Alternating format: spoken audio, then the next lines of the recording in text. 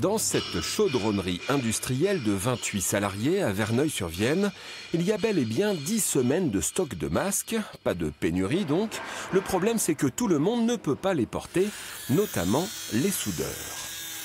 On peut comprendre que d'avoir la cagoule de soudure euh, sur la tête, plus le masque, plus l'effet de la chaleur de la soudure, voire des éclats de métal en fusion, rend les choses un petit peu plus problématiques. Dans les phases de meulage aussi, euh, où on crée des gerbes de métal incandescent, et dans les phases de pointage. Hormis ces trois euh, conditions de travail, on, a obligé les salariés à porter le masque dans toute l'usine. Comme ces sept salariés, le masque, Frédéric Noël, boulanger à Limoges, l'a déjà sur le nez depuis deux semaines.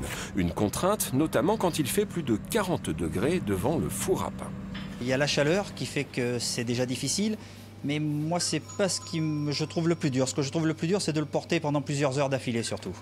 C'est évident pour personne, mais bon, ben, tout le monde s'est plié à la règle très facilement. Voilà, il y en a une qui me disait ce matin que maintenant elle porte un masque en tissu parce qu'elle ne supporte pas forcément les autres. Donc voilà, chacun s'adapte un petit peu à sa manière. Dans un contexte économique difficile, la Confédération des petites et moyennes entreprises de Haute-Vienne, regroupant quelques 430 sociétés, demande plus de souplesse au gouvernement.